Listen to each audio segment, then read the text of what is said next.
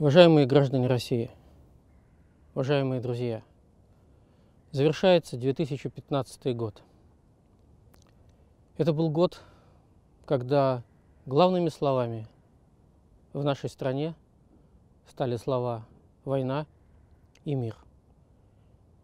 И главный вопрос сегодня в России – это вопрос о войне и мире. В этом году люди войны продолжали бороться за войну. В этом году люди мира продолжали бороться за мир. Нам не удалось в этом году остановить войну. И мир в этом году не наступил. Главная память об уходящем годе – это память о погибших в этом году – о погибших на земле, о погибших в воздухе, о погибших известных людях и о погибших, кого знают только родные и друзья. И наши мысли сегодня, в эти последние дни уходящего года, в первую очередь с теми, кто потерял в этом году родных и близких, кто осиротел, кто оплакивает Уход из жизни, часто очень трагический, своих родных людей. В этом году России добавилась еще одна война. К войне в Украине добавилась война в Сирии. У этой войны есть свои жертвы, свои погибшие, и у каждой из этих войн есть продолжение.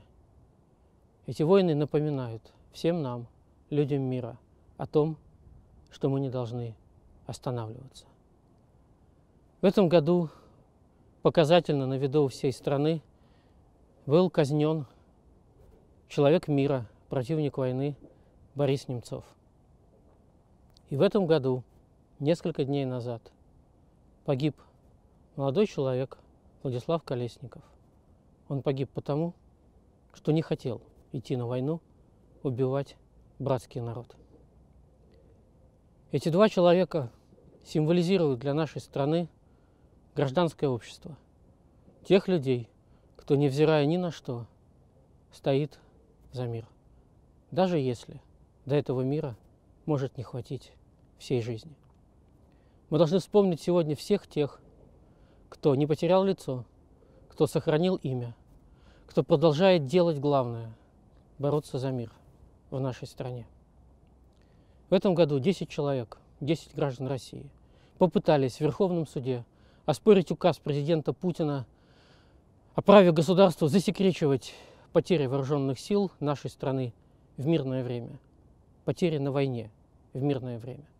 И дважды Верховный суд России отказал нам в наших требованиях. Он подтвердил право государства объявлять государственной тайной и тайно хоронить своих погибших солдат. Мы запомним это.